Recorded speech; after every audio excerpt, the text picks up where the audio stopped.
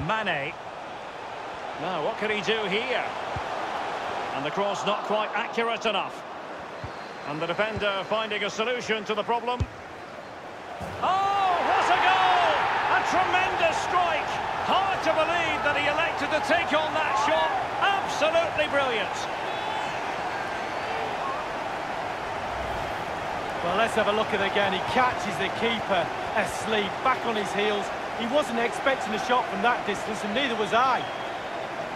And the goal that was scored, well worth another look, Lee.